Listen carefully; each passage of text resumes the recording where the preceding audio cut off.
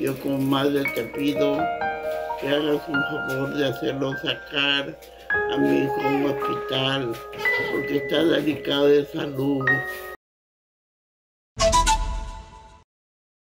Pido un favor como madre. Ayúdame, ayúdame por favor. No seas malo, no seas inhumano. Te lo pido como madre que soy. Espero que escuches mi pedido. Gracias a mi hijo Luis González López.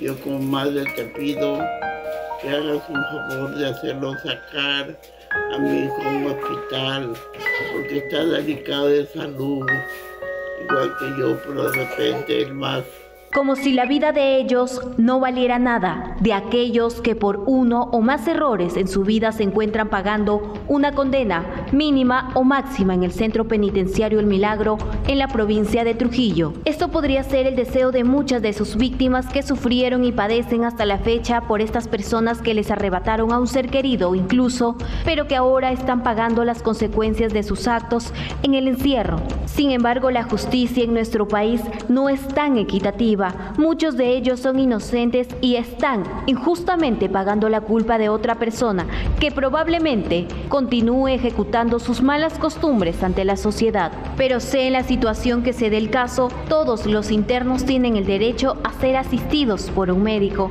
A pesar de ello, los familiares de los presidiarios denuncian al jefe de seguridad Miguel Ángel Romero Chávez y al agente del Instituto Nacional Penitenciario del Perú del establecimiento Jorge Aybar Patasca por los abusos que realizan contra los reclusos cuando estos denuncian o exigen sus derechos.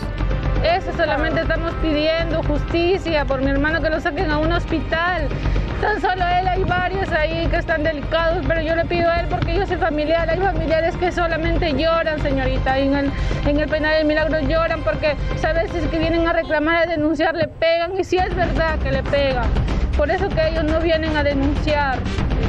Este es el caso de Alberto González López, de 33 años de edad, quien se encuentra recluido ya hace cuatro de ocho años de sentencia por extorsión. Según su hermana Fiorella, él se encuentra en uno de los regímenes de seguridad donde recibe maltratos físicos y psicológicos continuos, motivo que lo llevó a intentar suicidarse ingiriendo dos navajas. Ahora, Gonzalo se encuentra en el mismo ambiente sin recibir atención médica a pesar del sangrado interno que presenta. Así lo revela un audio de uno de los compañeros del cautivo González.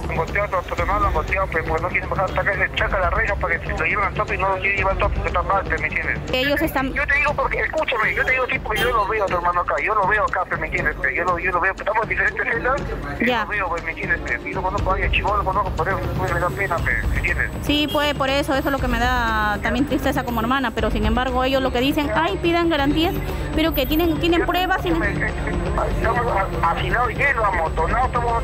Les pegan, los simples son abusivos, les pegan con, con trapos mojados para que no dejen huellas, tienen hematoma. Mi primo tiene la TBC, también está mal, ha estado con el COVID. No queremos que nos entreguen eh, con un cadáver, no queremos eso. Lo único que exigen los parientes es que sea trasladado a un hospital para su recuperación y no sigan maltratándolo por denunciar en los medios de comunicación porque según la Constitución, en su artículo número 7 garantiza el derecho a la protección de salud de todos los ciudadanos independientemente de su situación jurídica.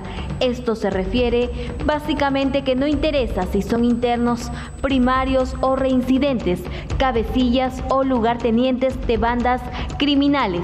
No se toma en cuenta el tipo o grado del delito, simplemente todos tienen derecho a la salud. Así se puntualiza en el Código de Ejecución Penal en su artículo número 76, donde señala que el interno tiene el derecho a alcanzar, mantener o recuperar el bienestar físico o mental.